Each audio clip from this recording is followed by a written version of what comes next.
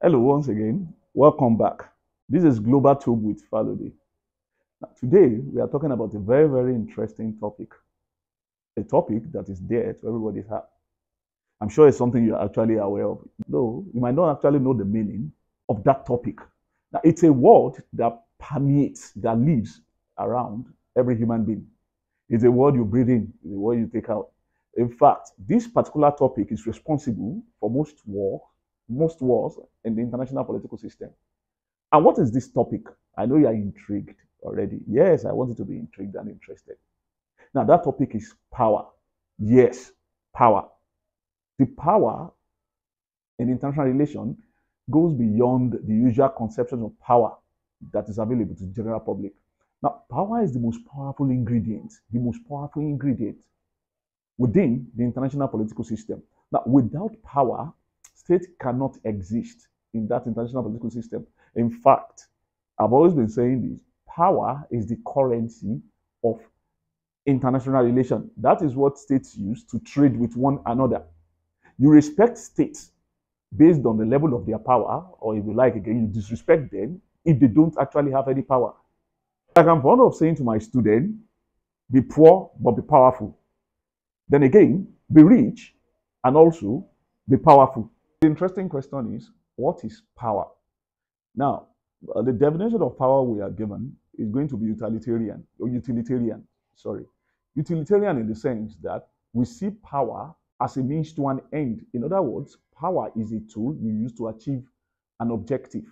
So it serves its functions. It is a means to an end, and it is also an end in itself. I think that gives us a better conception of what the power is, rather than the usual secondary school definition of uh, power is the ability to be able to make somebody to do what they wouldn't have done under normal circumstances. That is apologies to Robert Dahl, but that definition is outdated. What is power now? Now, power is the use of tangible and intangible resources and assets by a state to achieve objective within the international political system. That sounds better, don't you think? So the use, that means it's a tool. It's like your pen, it's like your phone that you use to achieve an objective.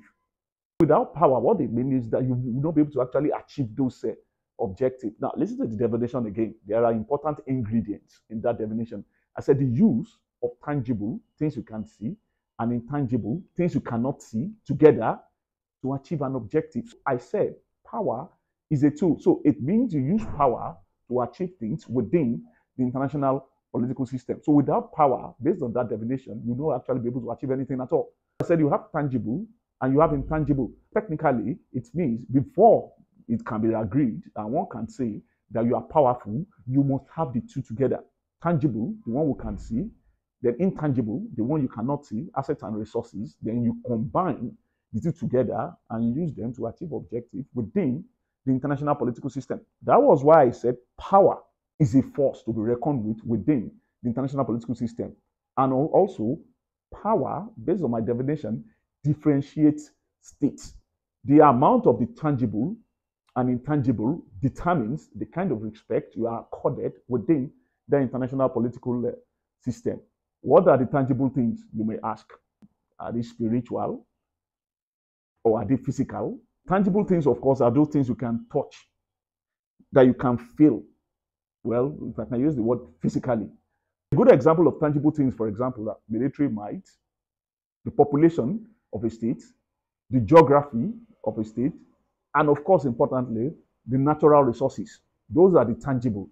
When I say the military might, you can now understand that America is one of the most powerful countries in the world. It has all those things. It has geography, it has the population, and of course, it has, importantly, military resources, which has explained well America is a country that we sometimes refer to as an hegemon.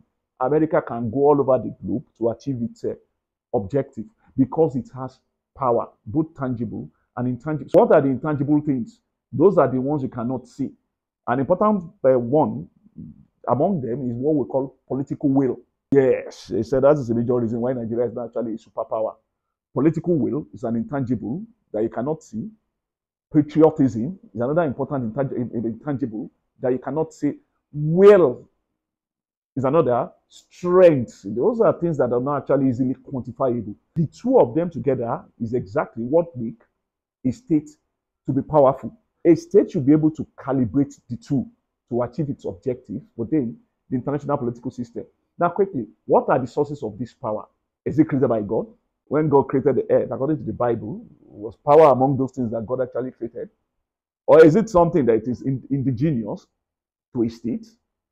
Or you have to buy with money, you have to cajole, or you have to beg people? What are the sources of this power? Briefly, there are three major sources of power. Now, the first one is what we call natural sources of power. Second one is what we call psychological source of power. And the third one is what we call synthetic power. If you ask me, after the three, I prefer the synthetic power, but I will explain. What are the natural sources of power? One, you have population. Two, you have geography. Three, importantly, of course, you have uh, natural resources. Remember, I said it's a means to an end, is a tool to achieve an objective.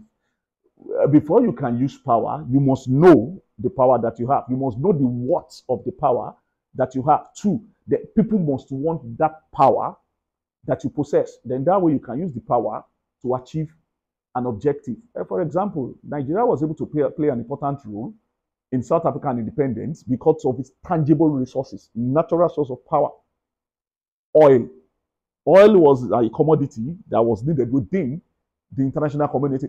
Nigeria leveraged its membership of OPEC, and based on the fact that it has natural abundance of crude oil to achieve important objectives within the international political system in the 1970s and 1980s. We played a vital role because of our oil in the Angolan War, then, of course, in apartheid South Africa.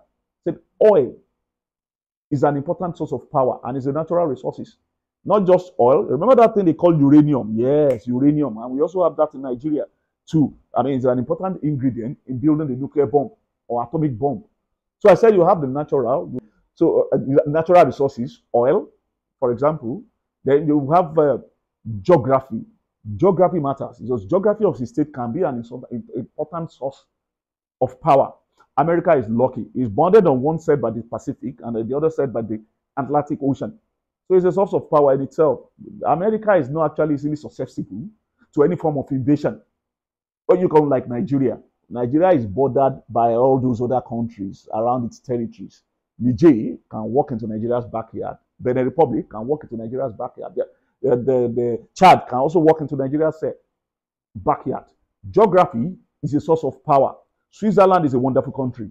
It's surrounded by mountainous regions, mountains, mountains. So it's difficult for any country to actually invade Switzerland. The geography of Russia is also, eh, eh, I mean, it's also um, gives it an, um, an unbelievable advantage.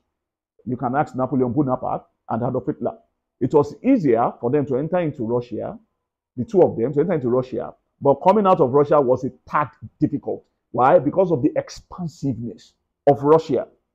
Then, of course, population. China is a good example. It's interesting that China has the world's highest population, 1.2 billion plus. And yet, uh, they are not the world leader when it comes to poverty.